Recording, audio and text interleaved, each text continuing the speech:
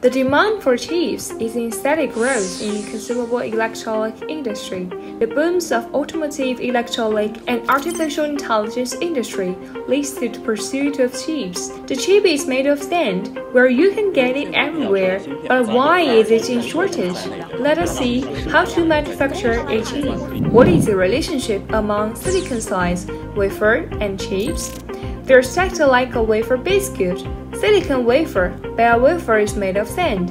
It acts like the base of a biscuit, then the cream and jam shall be processed on the base.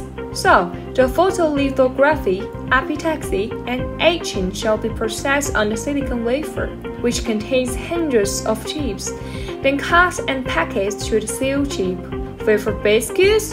Oh no, the manufacturing of a chip. Did you get it? From silicon slice to chips, it involves wafer production, chip manufacturing, and package testing. HG laser accelerates entering the semiconductor industry, providing solutions on semiconductor wafer.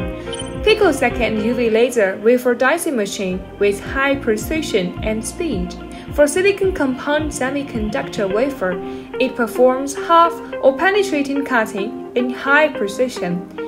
A full automatic laser cutting equipment inside of the semiconductor will adapt a laser modification process in micro range. Automatic wafer laser slotting equipment to process chips with 40 nanometer. Great expectations fall on the chip manufacturer in China. Looking forward to more breakthrough on the other industries. High-end goods will be made in China.